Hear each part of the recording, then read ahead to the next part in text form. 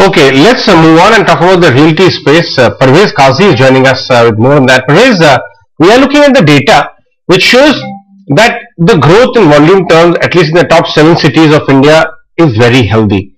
And the uh, subsequent rise in the stock prices as well. Out of the universe of real estate stocks which you track, uh, talk to us about how valuations are faring.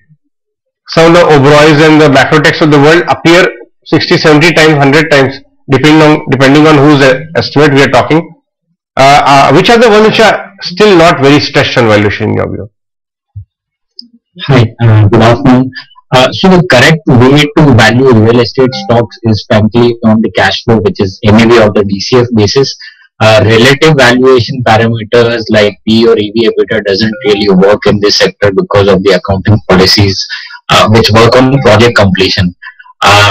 Ideally you should look at cash flows because they give you a better idea about the current financial performance of these companies.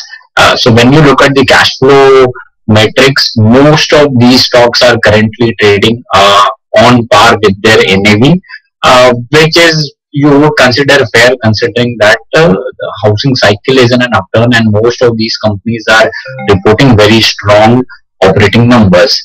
Uh, going ahead, we do not believe that there is likely to be any uh, further re-rating trigger in the near term. That is probably one year down the line when you might see some comfort coming on interest rate cut. Uh, so at least over the next six to 12 months, uh, stock performance will be driven by operating parameters like pre-sales growth, which we expect will be anywhere between 20 to 30 percent for most of these companies. Right topics. Uh, right, and uh, you know, right now, if you're looking at it uh, in the real estate space, anything that is looking exciting to you, what would you look at over there in terms of a top picks for there? Uh, our top pick uh, has been DLF for quite some time. We continue to remain bullish on the name, uh, considering the lack of competition in the Gurgaon market and also the strong balance sheet and cash flows for the company. Apart from that, we also like some of the Bangalore-based players like Brigade Enterprises because again, uh, there the sales momentum is uh, pretty strong. So these two are our topics in the real estate space. But nevertheless, as I said, housing segment is in an upcycle. So most housing companies are going to do well both operationally as well as uh, from a stock price point of view. Hmm. Right. So you know, last 24 months we've seen that the cycle really turned around and whenever this cycle actually turns around, it usually is, is more prolonged, 3 to 5 year plus. Last cycle was 10 years back, but it lasted 5 year plus. Do you see, are you convinced when you talk to some of these large companies of the demand momentum, uh, the kind of supply which are coming on stream, that it may last another 3 to 5 years from here? Absolutely. Uh, two points uh, convince us from that. Uh, first, that house affordability remains at a very, very comfortable level. Uh, it is, in fact, now the second or the third best when you look at the last 25 odd years. Uh, so that convinces that this cycle is likely to stay here for the next four to five years. Uh, and the second is uh, on the supply side also because of the industry consolidation, uh, supply continues to trail demand. In fact, that has been the case for the last four to five years, and which is why unsold inventory levels remain at a very, very comfortable level. Uh, so we are fairly convinced that this upcycle is uh, likely to stay for at least next four to five years.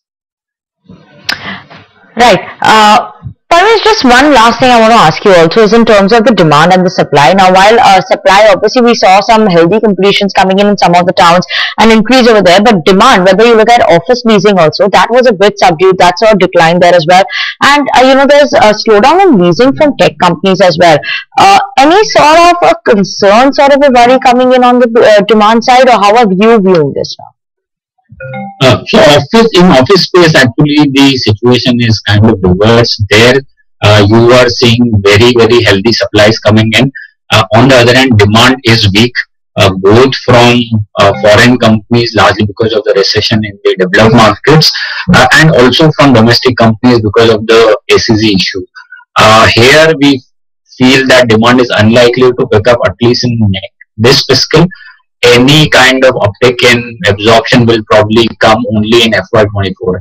So yes, office space is likely to remain weak at least for the rest of this fiscal as well. Okay. Thank you so much, Ramesh, for joining in with us uh, this afternoon and uh, giving us an insight on the real estate sector.